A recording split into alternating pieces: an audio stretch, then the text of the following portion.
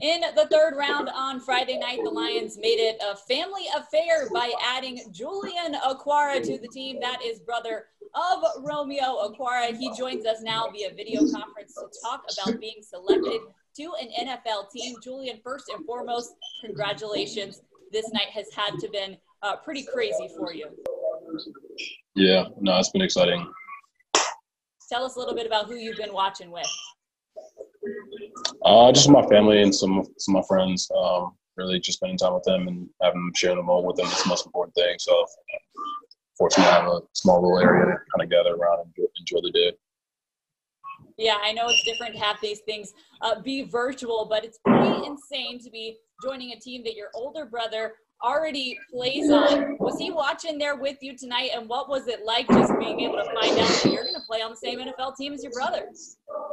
Yeah, he was watching with me. Uh, I think right after I got off the phone, I was telling him we're to be roommates as a joke. But um, yeah, it's, it's exciting just spending time with my family and having them here to support me um, for the great night. So it's been a great day for sure. All right, I want to know: Did you have the Lions hat ready, or did you just st- st- steal it from Romeo? Uh, no, no, we already had it ready. It was got a got a bunch of hats back here, so. I love it. That's perfect. That's perfect. Tell us a little bit about yourself. Help us get to know you. What do you feel like the strength of your game is that you're going to be bringing to the Lions? Uh, I think he's just getting a versatile player. Um, great defensive end that wreaks havoc in the backfield. Um, relentless pass rusher, but our guys do a lot of things the football, on the football field a lot of guys can't do. Just getting a great overall player. Um, I'm just excited to get to work well, once you do finally come to Detroit, you got to figure out where you're going to live. At the combine, you said if you ended up going to the Lions, you weren't going to pay rent. You were just going to crash on your brother's couch. So I'm curious, what's what's the living situation going to be like? Yeah, no. So he's got a he's got a nice couch upstairs. So I'm, I'm crashing on that for like a year, save some money. Um, so that's a plan right now. I like it. Can hang out with his dog there, and he's got so many unique hobbies. He does photography. He does typewriting. I'm curious, do you have any unique hobbies of your own?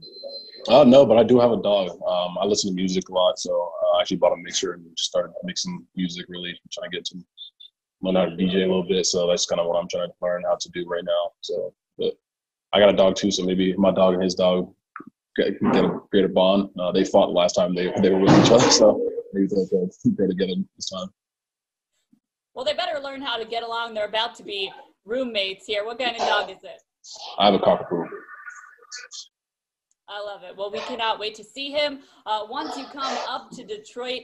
Julian, enjoy this night with your family. Not a lot of NFL players get to have this moment where they get to go and join a family member on the team that they are drafted to in the NFL. So, congratulations. Thank you.